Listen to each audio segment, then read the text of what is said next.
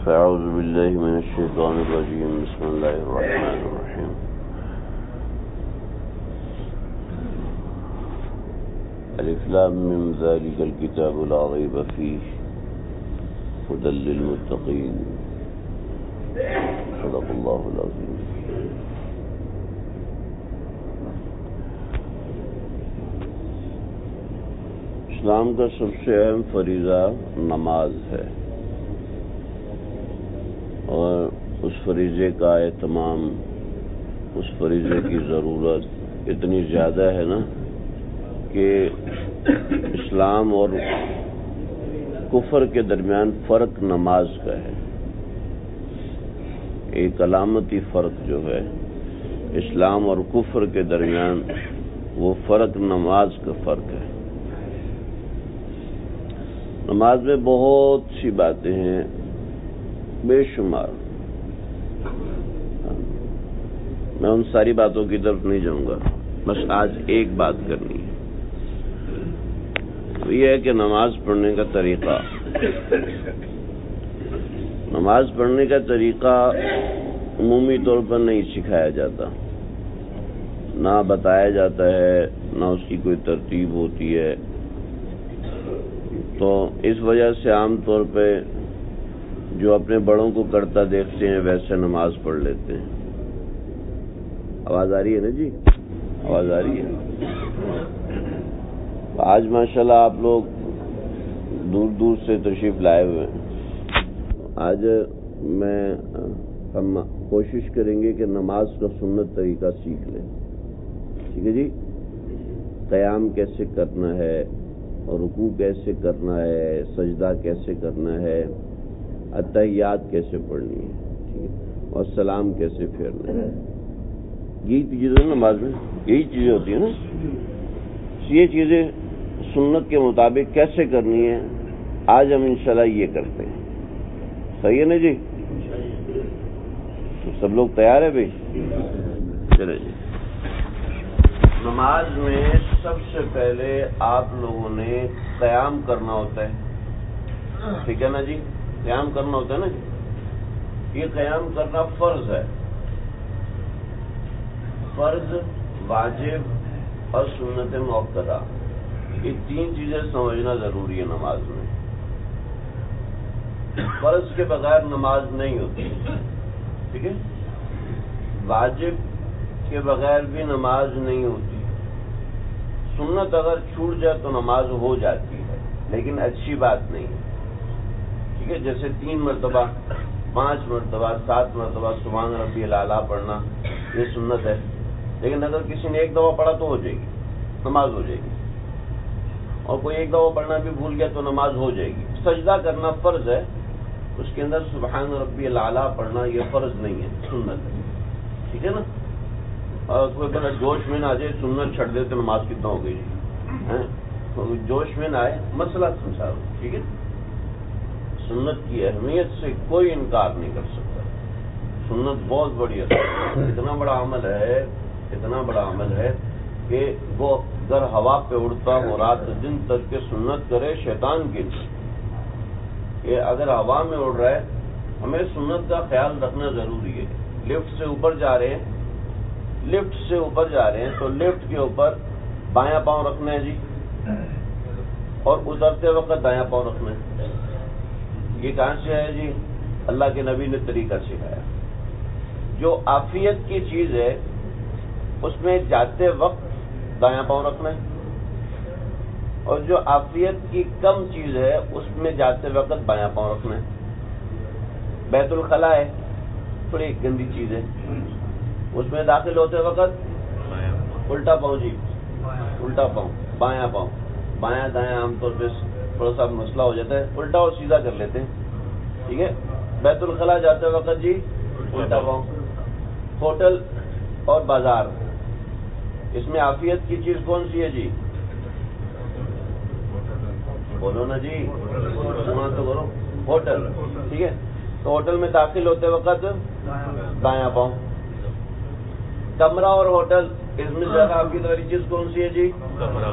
कमरा। कमरे में दाखिल होते वक्त बाया पाँव कमरे से बाहर निकलेंगे। बाया पाँव। घर में दाखिल होंगे जी। दाया पाँव बाहर निकलेंगे। मस्जिद में दाखिल होंगे। दाया पाँव और बाहर निकलेंगे। समझ रहे जी? लिफ्ट में दाखिल होंगे। बाया पाँव और बाहर निकलेंगे। दाया पाँव। समझ गए जी? आसान है मुश्किल है जी। बहुत आसान। है सुन्नत तरीका अल्लाह के नबी ने हर चीज़ सिखाई। कोई चीज़ नहीं छोड़ी। कोई चीज़। गुस्से में है तो क्या सुन्नत है? मोहब्बत में है तो क्या सुन्नत है? नीचे चल, चल रहे हैं तो नज़रें झुका के चलना ठीक है चलने का तरीका सिखाया बैठने का तरीका सिखाया। एक एक चीज़ हमारे नबी ने हमें कोई चीज़ नहीं छोड़ी। शेख अब्दुल कादिर जिलानी रहमतुल्लाह अलैह के पास एक साहब आए। उनको उनको बड़ा मसला था, परेशान थे। शेख अब्दुल कादिर जिलानी रहमतुल्लाह अलैह ने उनको ज़िक्र बताया तो उनका मसला हल हुआ। तो ऐसा बुज़ुर्ग आदमी था कि वहीं बैठ के उसने ज़िक्र करना शुरू किया। अल्लाह! ज़िक्र करना शुरू किया तो यूँ हुआ कि वो ज़मीन पर बैठा था, उठ के हवा में बैठ गया। क्यों भाई, कैसी ज़बरदस्त बात। ऐसा कोई कर सकता है? शेख अब्दुल कादिर जिलानी रहमतुल्लाह ने उसको मिसवाक मारी यहाँ पर। तो नीचे गिरा। और मैं मियाँ, सुन ले। तू ऐसा ज़िक्र करता है कि बगदाद में जलजला आ जाता है। तू ऐसा ज़िक्र करता है कि हवा में उठ के बैठ जाता है। लेकिन एक मुसलमान सुन्नत पर अमल करे तो तेरे इस ज़िक्र से बढ़कर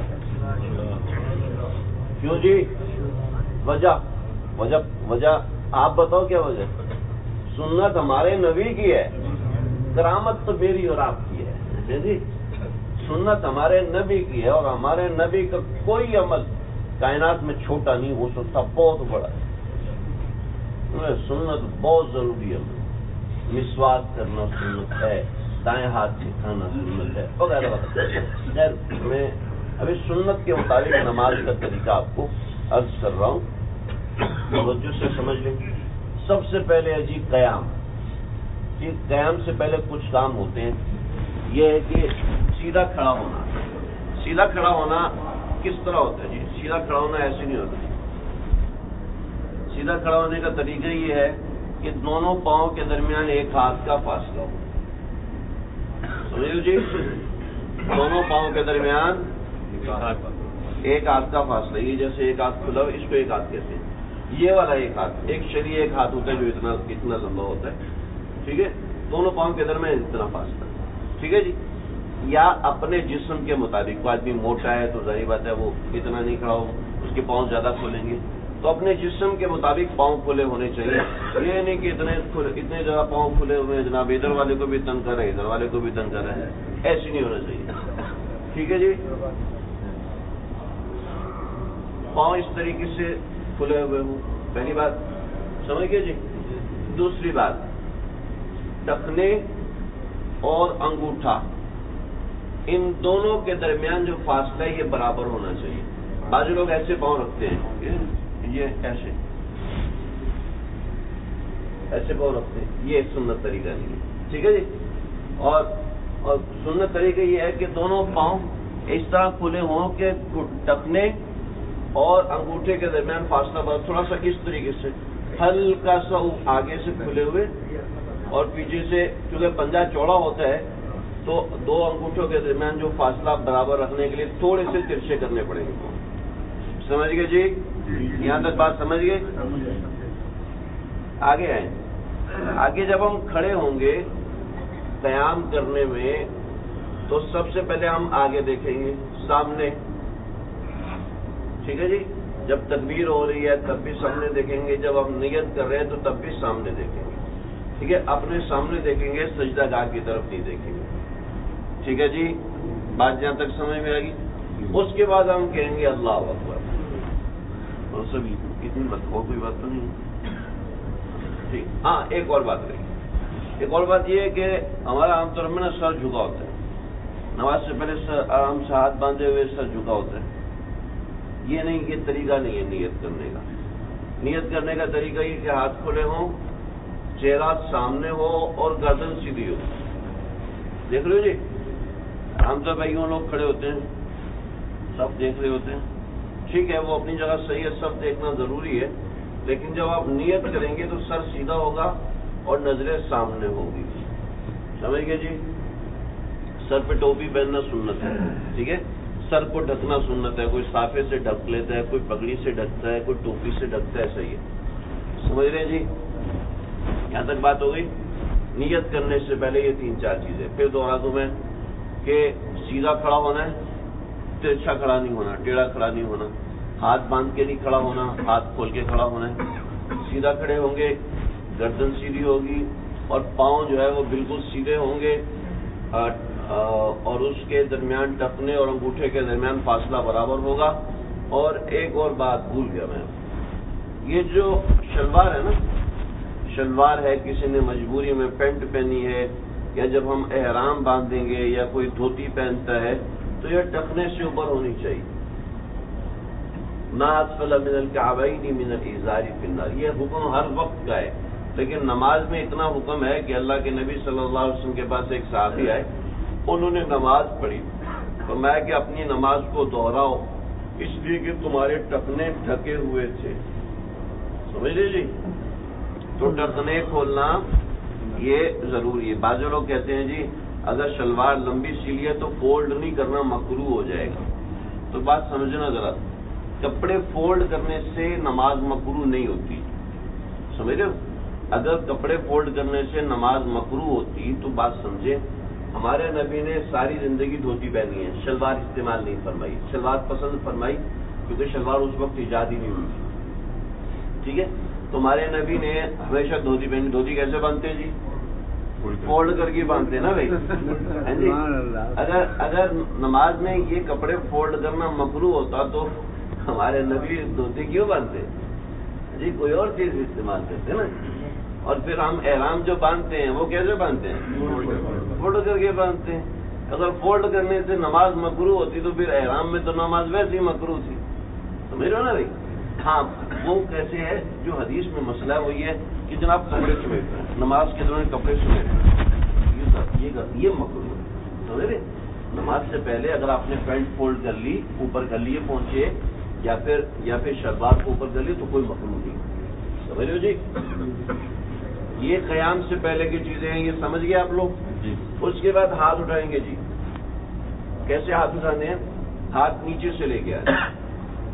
अगर बारिश हो रही है कहीं हाथ मसरूफ है मोबाइल में तो मोबाइल जेब में डाला और अल्लाह ऊपर, ये नहीं।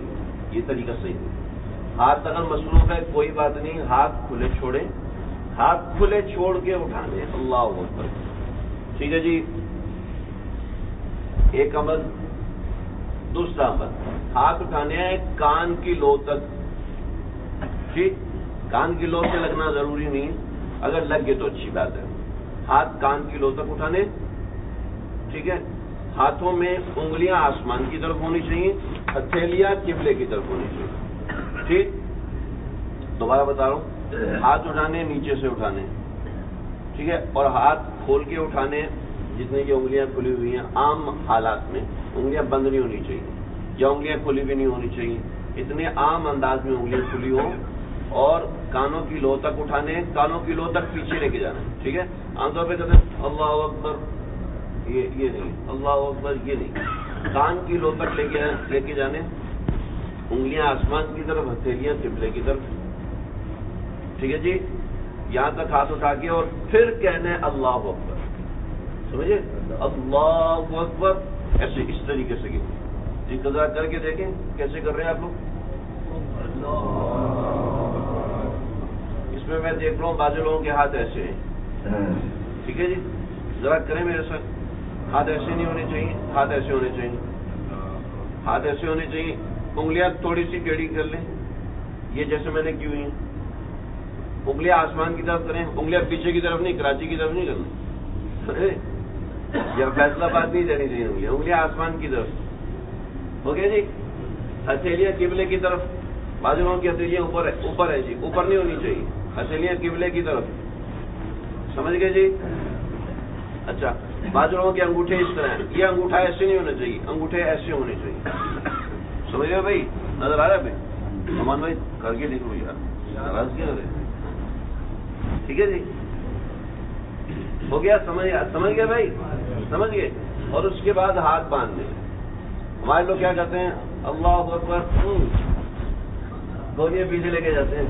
तो मसल सीधे कर रहे होते हैं। ये वर्जिश नहीं है, नमाज़ है। ठीक है? ये बाजू लोग यूँ करके और फिर हाथ छोड़ के और फिर अल्लाह अकबर करते हैं। तो नहीं ये नहीं। ये नमाज़ के अदब के खिलाफ है। ठीक है जी? यूँ यहाँ पे जब आपने हाथ उठाए और उसके बाद सीधे बांधने ठीक है? बांधने का तरीका बता दूँ हाथ थोड़ा सा टेढ़ा कर ले। हाथ थोड़ा सा टेढ़ा कीजिए। उसके बाद यहाँ पर ये अंग, ये छुंगलिया और ये अंगूठा चीची चीची कहते ना ये चुंगलिया और ये अंगूठा इन दोनों को यहाँ से बांधने ठीक है जी? और तीन उंगलियाँ जोड़ देनी है यहाँ पर। जुड़ गए? और उसके बाद यहाँ पर यहाँ पर कलाई के साथ लगाया। इसे कहते हैं जो घड़ी है ना वो दाएँ हाथ पे बांधनी चाहिए। बाएँ हाथ पे घड़ी नहीं बांधनी चाहिए कि घड़ी जो है हाथ बांधने में मसला करेगी। ठीक है जी? अल्लाह के नबी ने अंगूठी दाएँ हाथ में पहनी थी। तो जो ज़रूरत की चीज़ हाथ पे बांधने के लिए सुन्नत तरीका है कि दाएँ हाथ पे बांधनी चाहिए सुन्नत मुस्ताहब तरीका है कि दाएँ हाथ पे बांधनी चाहिए। बाएँ हाथ पे अल्लाह के नबी ने अंगूठी भी नहीं पहनी हो जो ज़रूरत की चीज़ें नहीं पहनी, इस वजह से दाएँ हाथ पे घड़ी बांधनी चाहिए। तो ये दाएँ हाथ पे, दाएँ हाथ हो गया और हाथों को जब ढीला छोड़ेंगे तो नाप के नीचे हाथ को बाँध लेंगे। समझ लीजिए भी? कुछ लोग कहते हैं जी, सीने पे बांधो, ठीक है, बांधो यार। हम किसी से बहस नहीं करते, ठीक है जी? हमारे हाँ सुन्नत तरीका ये है। अल्लाह के नबी से मनकूल है, हज़रत अली फरमाते थे, हज़रत वायद मुजर फरमाते थे, वगैरह वगैरह। तो ये हाथ बाँध लिए, ठीक है भाई समझ गए जी? इसमें दो बातें मजीद एक बात यह है कि आमतौर पे हाथ जो है वो नीचे होता है। ठीक है जी? नीचे नहीं होना चाहिए। जैसे ये है ऐसे नीचे नहीं होना चाहिए। नज़र आ रहा है भाई? नज़र आ रहा नीचे नहीं होना चाहिए। बल्कि कैसे होना चाहिए? ये केवला की तरफ़ होना चाहिए हाथ ये केवला की तरफ़ होना चाहिए। समझ गए जी? एक बात दूसरी बात ये है कि ये जो हाथ मेरा लटक रहा है ना ये ऐसे गायब होना चाहिए जैसे बारह बजे एक सुई दूसरी सुई के नीचे गायब होती है। समझ रहे ये। तरीका समझ में आ गया? बाँध के देखें जरा। बाँध के देखें जी, आप किस तरीके से बांधते हैं? बाजू लोगों की उंगलियाँ खुली हुई हैं, ये उंगलियाँ खुली हुई हैं, ये उंगलियाँ खुली नहीं होनी चाहिए बंद होनी चाहिए। ये बंद होनी चाहिए। ठीक है? और जो हाथ जो है, कलाई के ऊपर बंधे, कलाई के ऊपर। बाजू लोग यहाँ बांधे हुए, कलाई के ऊपर बंधे। कलाई के ऊपर बंधे। वो एक दोस्त सिख बैठे हुए थे ना? कहने लगे बारह बजे तो बाद की होंगे है? साड़ी अकल गायब हो जाती है। बारह बजे के बाद क्या होता है? हमारी अकल गायब हो जाती है। कहते हम जरा देखते हैं। जब उन्होंने घड़ी देखी ना बारह बजे कहते क्या हुआ? भैया, दो सुइयाँ एक हो गई एक सुई घड़ी के अंदर से गायब हो गई है। तो आपका हाथ नीचे से ऐसे गायब होना चाहिए जैसे बारह बजे घड़ी घड़ी की सुई गायब होती है। ये देख रहे हैं जी? बहुत लोग ऐसे हाथ बाँध लेते हैं, ये सुन्नत नहीं है जी। समझ रहे हो जी? सुन्नत तरीके के मुताबिक ऐसे हाथ बांधने कलाई को पकड़ना है, ठीक है? बाजू को नहीं पकड़ना जी। कलाई समझते हो जी? कलाई को पकड़ना है, बाजू को नहीं पकड़। ठीक है जी? यहाँ पर और इसके ज़रिए से पकड़ना है। उंगलियाँ बंद, जरा एक दफ़ा और कर लें आप लोग। ठीक है ठीक है, माशाल्लाह माशाल्लाह, बहुत अच्छा। समझ रहे जी? समझ गए आप लोग, माशाल्लाह से। और अच्छा कयाम के अंदर आप लोगों ने गर्दन अपनी सीधी रखनी है और नज़र सजदा गाह की तरफ़ इस तरीके से होनी चाहिए। यूँ यूँ गर्दन झुका के नीचे देखना सही नहीं है। ठीक है? बल्कि सुन्नत यह है कि आपकी गर्दन सीधी हो और नज़र आपकी कबिले की तरफ़। समझ गए जी? समझ गए या थक हो? थोड़ा सा वहाँ कर दिया करो मुझे पता चल जाएगा कि आप लोग सुन रहे हैं। ठीक है जी। ये हो गया? सिवा सुहान बिहमदिक व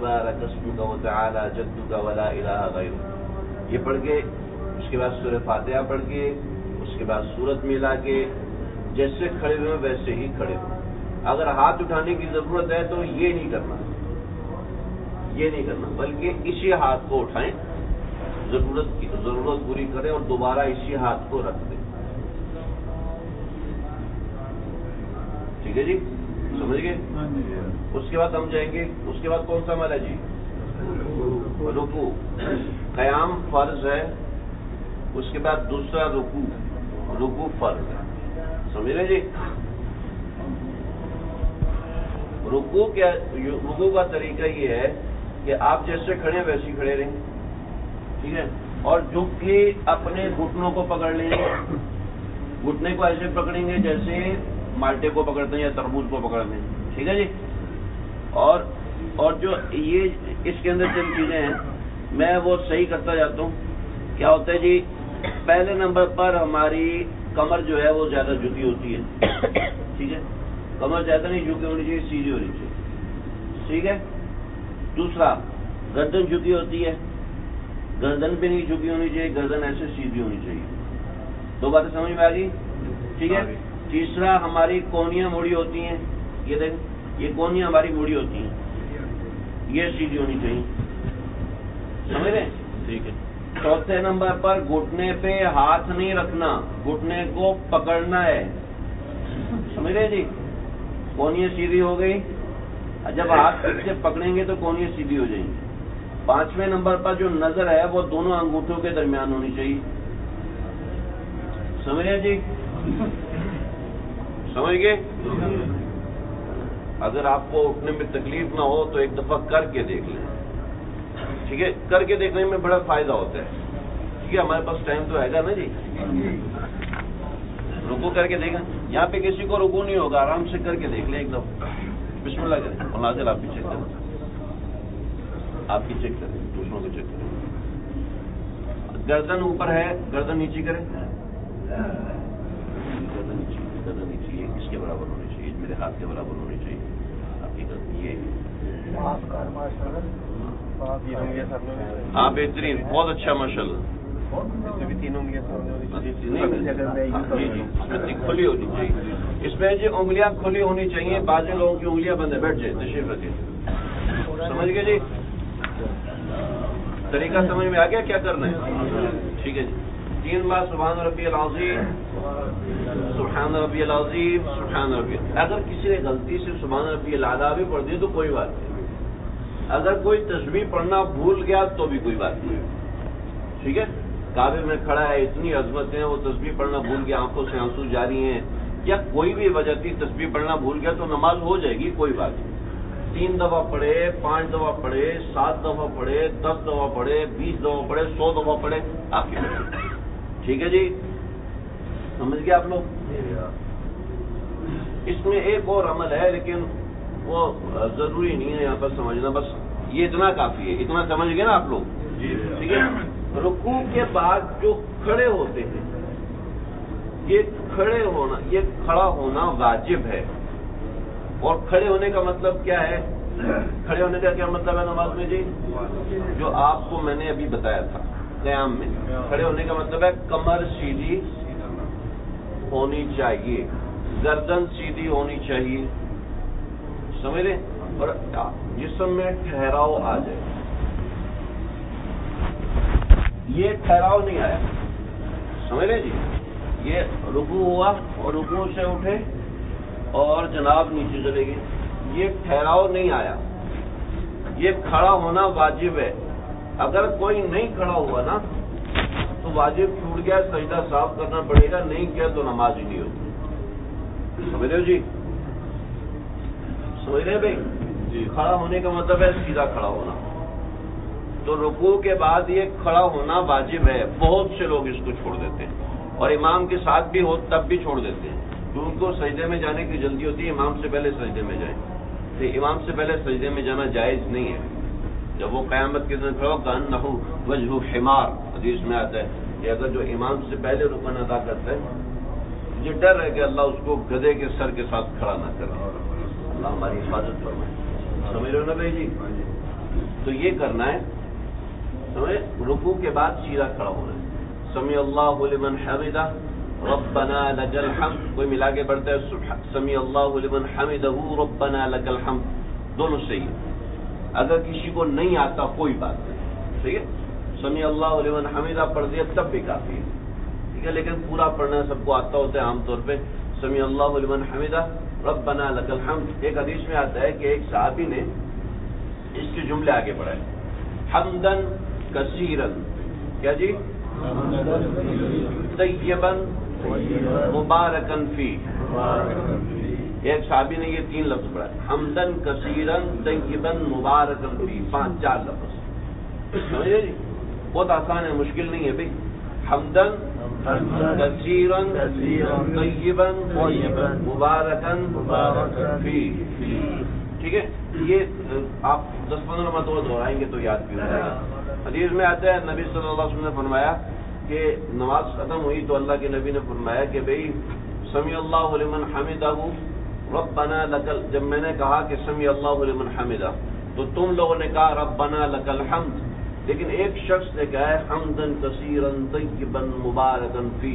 वो कौन है जी? फैसला मैंने कहा था, दिल कर रहा था कि ये जुमले कहूँ। और मैं कि जब तूने ये जुमले कहे तो मैंने देखा तीस फरिश्ते लड़ाई कर रहे हैं तेरे इन जुमलों को आसमान पे ले जाने के लिए। ठीक है जी? थोड़ा सा अमल है अगर हम अच्छे तरीके से कर लेंगे। देखो आ, आपके पास दो बंदे आए कि जी मैंने आपके साथ बैठ के खाना खाना है। ठीक है? एक को आप जानते हैं दूसरे को आप नहीं जानते। तो किसको बिठाएँगे? जिसको जानते हैं ना उसको बिठाएँगे। जानने वाले से आपका रास्ता होता है। हम जो नमाज़ पढ़ते हैं ना ये तो सिर्फ़ रास्ते की नमाज़ रास्ते की नमाज़ है। रास्ता उससे होता है जो थोड़ा सा ज़्यादा करे। जी थोड़ा सा अच्छे तरीके से करे। जो थोड़ा सा खूबसूरत तीन दफ़ा तो पढ़नी ही है सुबह रबी अजीम। तो पाँच दफ़ा पढ़ ले। पाँच दफ़ा पढ़ने से अल्लाह की यारी मिलेगी, अल्लाह से ताल्लुक मिलेगा। हाँ जी?